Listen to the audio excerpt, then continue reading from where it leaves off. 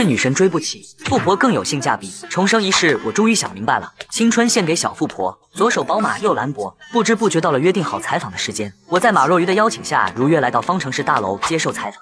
方总，请问您是基于什么样的原因才创办出元辅导的呢？因为我自己也是从学生时代走过来，并且。现在也正在经历，大多数学生都是还没有赚钱能力的青年。我们想在教育资源昂贵的当下，提供给大家一个便携的平台获取资源。我自以为这个回答十分完美，却看见主持人像是不屑般翻了个白眼，但一转眼又笑着提问：“那请问方总，猿辅导下一步有什么动作吗？”他的变脸速度快到我还以为是自己看错。平复好心情，接着回答：先稳中求进，扎根金陵大学，再推广到全金陵散装省、华东地区、全国。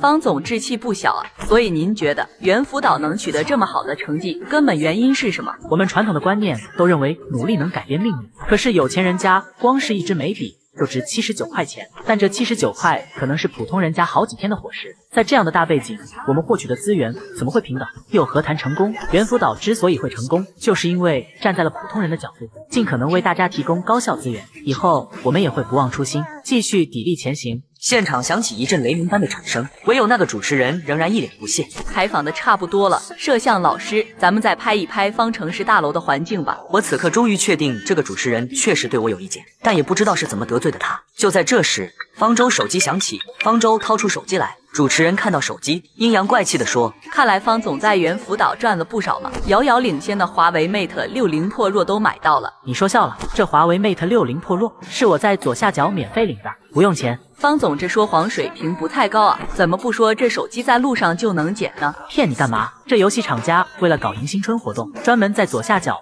放了一万台华为 Mate 六零破弱，我的发货短信还在呢，而且。”这次还多了五千台苹果十五 Pro Max 做保底福利，换平时可就没有这么大力度的福利了。那你倒是说说怎么领了？现在只要点视频左下角下载游戏，上线就能看到手机领取界面了。完成任务，苹果、华为随便选。还真的是，那我必须选苹果。就在我准备上个厕所收工时，却在门口听见了他和别人的墙角。老周啊，你刚刚好像是对那个方总有什么意见吗？你也看出来了，我镜头就扫在你们俩的脸上，之后要怎么剪啊？我对走后门进来的人没什么好感。什么意思？你是说方舟是靠关系的吗？你看到他和马部长走的有多近吗？我都听人说了，他方舟就是个虚伪的人，靠着马若愚的关系才创建出来猿辅导，表面上为穷苦学生谋福利，实际上在过几个月。就要在背后圈学生家长的钱了。哼，那我要是装一辈子好人呢？方方总，你刚刚都听见了。方总，我刚刚在你视频左下角领的手机，这就发货了，好快啊！左下角是内部专属链接，有极速发货特权的，当然快。我意味深长地看向那位主持人。是，并且我对你口中的那个传谣言的朋友非常好奇。你以为我会怕你吗？我可是从咱们金陵第一公子哥林墨那听说到的消息，千真万确。你这样吃人血馒头，就不怕遭报应吗？没想到林墨都自身难保了，还有时间在背后搞这些小动作。那我要是伪善一辈子呢？你会觉得我是个好人吗？啊，这，我做这些。从来不是为了成为你们心目中的好人，我也从来没兴趣当什么好人。不过我可以保证，猿辅导的初心永远不变。既然你觉得我经不起时间的考验，那就让时间来证明。我不再多说，扬长而去。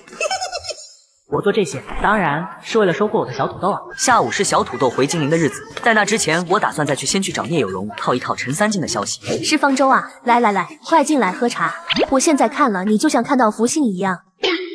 怎么？今天刚去金陵官方开了个会，可算是把我的脸面赚足了，好几家企业看的眼睛都红了。先不聊这个，这次又给我带什么好消息来了？嘿嘿，这次我可不是来带消息的，是来探消息的。可以，想听哪个方面的？产业，金星集团的产业方面，越详细越好。金星集团是金陵的企业巨头，业务领域涉及二十多个领域，其中地产。交通、影楼是金星集团的三大支柱产业，虽然不太想承认，但金星集团确实要压荣光集团一头，甚至这两年隐约有金陵第一企业的势头。果然不好对付。我记得陈三金之所以想要强势撮合徐天胜和你那个小女朋友，就是为了收购天盛集团的文化板块业务，彻底把这个第一企业的名头坐实。打蛇打七寸，看来还是要从他的重头产业下手。怎么了？听到陈三金的真实情况，有点慌了。那倒也没有，只是在想该怎么破局。虽然这老登实力比我预想的要强，但我还真不慌。年轻人就是有骨气，毕竟我有十万比特币压箱底，再怎么说也算个预备百亿大佬了吧。不过猿辅导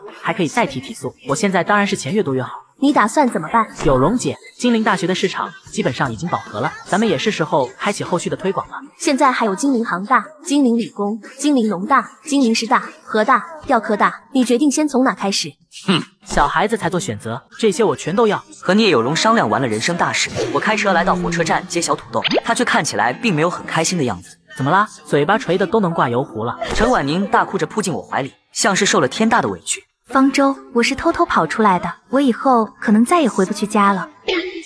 到底发生了什么？我回家后，我爸就一直逼着让我和徐天胜约会，但他一直对我动手动脚的。他练过武术，我比不过他，但我爸不仅不向着我，还让我能忍就忍，我就偷偷跑出来了。这他妈的怎么配为人父母？这不是在卖亲闺女吗？别怕，别怕，现在有我在身边了，你不用担心了。我的卡现在被他们冻结了，也不知道什么时候会再被他们找回去。现在整个人都好迷茫。我思考了许久，最后做了个郑重的决定。婉宁，我们同居吧。